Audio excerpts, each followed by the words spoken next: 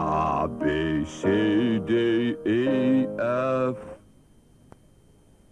E, F. Ja, dit fragment uit Sesamstraat is al wat ouder, maar het laat wel zien dat kinderen al vanaf heel jong het alfabet geleerd krijgen. G. Oh ja? A, B, C, D, E, F, G. Niet alleen zo, maar natuurlijk ook op school. Je leert ermee lezen en schrijven. En dat is al heel lang zo. Het alfabet is heel oud.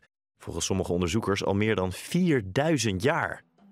Hoe het precies is ontstaan is moeilijk te zeggen. Waarschijnlijk moeten we daarvoor terug naar de oude Egyptenaren.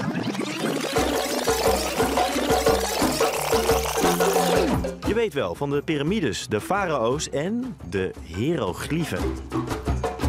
Met dit soort tekeningetjes, of beter gezegd symbolen, schreven ze verhalen. Dit was hun alfabet. Omdat het moeilijk was om zoveel verschillende symbolen uit het hoofd te leren, besloten mensen die symbolen steeds simpeler te maken, totdat het langzaam letters werden. Uiteindelijk maakten de oude Grieken er het alfabet van, zoals we het nu ongeveer kennen en gebruiken. Het alfabet is trouwens niet het enige schrift op de wereld.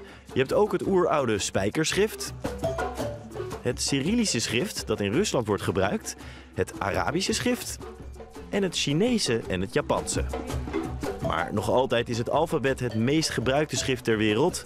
Ruim 2,6 miljard mensen wereldwijd gebruiken het. En dan B, X, Y en Z.